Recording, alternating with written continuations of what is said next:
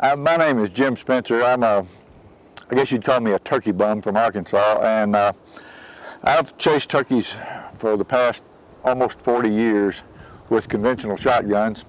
This is the UTS-15. It's a new, it's a tactical gun that has uh, been modified as a sporting arm. And to be honest with you, I was skeptical when I first saw this gun that it would that, that it had a place in turkey hunting. But uh, this bird here that I killed yesterday afternoon, I, I, would not have been able to kill this bird without without this gun and, and this EOTech sight combination because the bird came in wrong. The main reason that the gun allowed me to uh, to make the shot on the turkey, I shoot left-handed and had to bring the gun around to bear on the turkey. I had a tree right here.